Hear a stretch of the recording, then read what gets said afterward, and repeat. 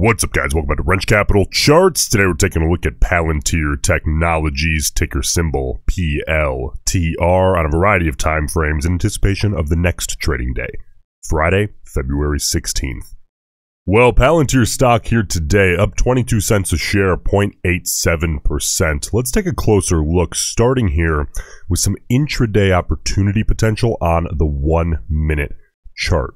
So listen, here looking early in the morning you had this little bounce setup. However, this one for me threw off any potential edge for a scalp on this side of the ball. So I looked away, I went and pursued other opportunities, and then when we got up to this point, we started to form this really clean rejection setup. The channel was just a little too tight given the liquidity on the name here today, but I'm sure we saw a few scalpers trying to reject that. For me, I prefer a little bit more edge. Listen, if you guys want to get my personal scalp setup alerts every single trading day, you're looking for perhaps a little bit of direction in terms of, of what I'm trading every day.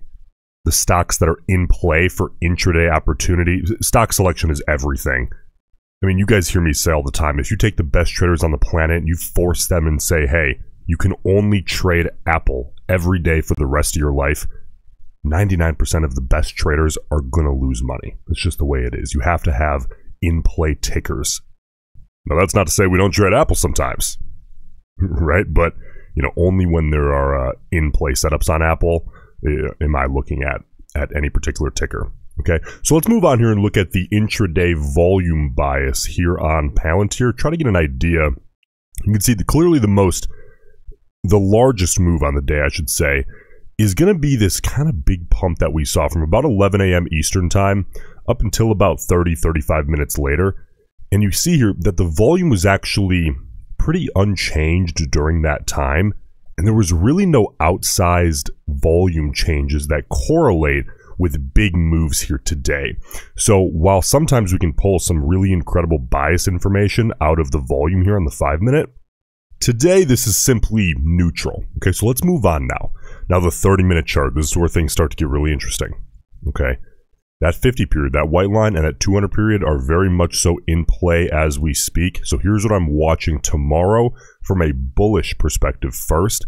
Listen, if we see a retest of that 50 period, I want to see a hold of support. We saw that today and we held it. That's a beautiful thing to see. I'd like to see a repeat of that upon a pull in. Now, if you're a bear, ideally you want to see that break to the downside, head down toward that 200 period moving average, right? That would also be a break downside of 25, which we'll get to here in a second. But if you're a bear, really you're looking for uh, the inevitable or eventually a breakdown downside of the 200 period here on the 30 minute. So a break of the 50 period is going to uh, need to occur. That's really your number one priority here tomorrow. Whereas the bulls looking for a big hold of that area.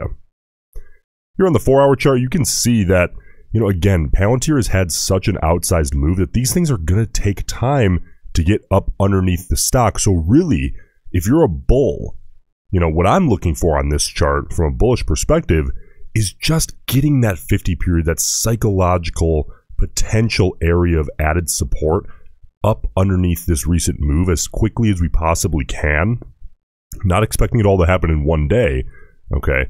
But from yesterday, you know, we saw this 50 period move upside another 4%, four and a quarter percent, whereas the stock is only up less than 1% today. That thing is making good time in getting up on it. I mean, that's a great thing to see. Now, if you're a bear, ideally you'd want that 50 period to slow down here and stay low as long as possible to give you some time to fade down through uh, what many would call like that difference, that gap, okay, between the ticker price, the stock price, and that uh, most recent psychological area on the four hour, or that most popular, I should say. Now, let's take a look at arguably the most important chart. That's going to be the daily. Okay. Now you can see here that any psychological levels, the 50 day moving average, the white line, the gray line, the 200 day, those are way down there. Then they're really not immediately relevant. Okay. What we did do today. Okay, we're we're back above 25 bucks a share. And if we look here, let's just go back to the 4 hour for 1 second. You know, we look here, we just reclaimed that yesterday after fading back below. So today what we were talking about is that, you know, really we want to see that $25 area hold and we did it. We held it here. Okay. That's a really good sign. That's a really good thing to see. But one day at a time, small steps to the moon. Okay. So what we're looking at if I'm a bull, number one priority, just ideally hold 25 bucks a share, if not move higher through that recent high, uh, getting above 25.50, 25.53, holding that, getting up toward 26. Now, if I'm a bear, okay, this becomes really, really simple. One thing is on my mind get below 25 bucks a share and start fading as hard as possible back down toward that $23 important technical area that we that you know I have had drawn for quite a long time.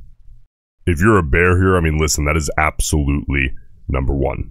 Now, we've seen the stock rip higher and hang out higher, hanging out in this region up right around 25 bucks a share. Volume of course, while fading after the earnings event, which is of course expected, it's actually retained relatively high volume. I mean, we're basically averaging double, you know, at least what we were uh, prior to earnings still, which I mean, look, if you see a move in your direction really on any time frame, ideally you want that to be on as big a volume as possible.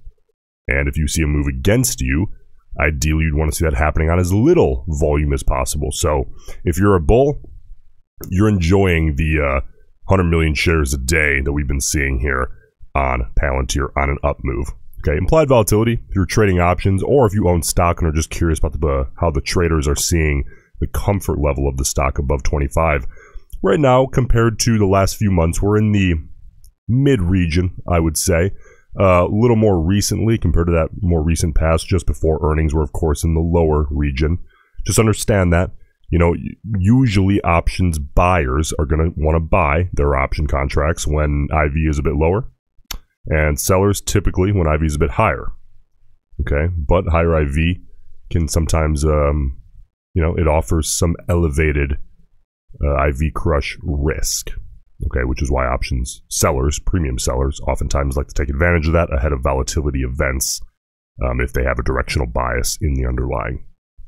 Let's take a look now and just finish up here by looking at the bias in the chain. What are the option traders thinking literally as we head into tomorrow? This is today's data. 540,000 total contracts, decent sample size. 337,000 of those were calls, 202,000 of those were puts. So bullish bias on the overall. The very short-term speculators, 60,000 total calls, about 70,000 total puts. So we are seeing a little bit of bearish bias in the 0 to 20 short term delta range. Okay. But you can see here that on all the other ranges, 21 delta or all, all the way up to the 100 delta region, we're seeing call bias on all four of those, um, you know, delta sections or ranges, so to speak.